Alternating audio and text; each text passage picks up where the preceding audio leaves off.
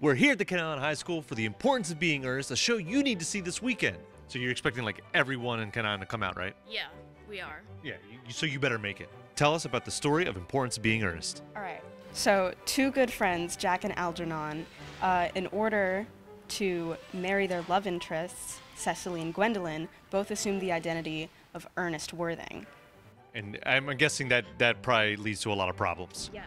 Yeah, and then when when they're trying to keep up this lie, everything's just falling apart. Everyone's getting mad at each other. It's not a fun time for them. For the audience, it's a very fun time. All right, so you can buy tickets at the door, and uh, like teachers or students anywhere in Queen Anne's County can get tickets for free. So definitely do that. What about TV crews? Are they free or no? No. What's Cecily like? She's like an airhead. She's kind of dumb, but she's she's a good character. I like her. Uh, I play Gwendolyn Fairfax. Yeah. What's she like? Uh, she's very sophisticated and smart and proper. What's Lady Bracknell like? That sounds like a real official. Yeah, she's very like snooty and she's she's very wealthy and she definitely acts like it. Favorite part of the show? Um, I like just the end, uh, like the end of the show where Don't no, spoil it, no don't spoil it. No spoilers. oh my gosh, I thought it was gonna. Probably my argument with uh, Cecily. Are you is it the I would same? say the same thing. Yeah. Who Gets really gets really heated. yeah. Are you are you throwing fists? Yeah.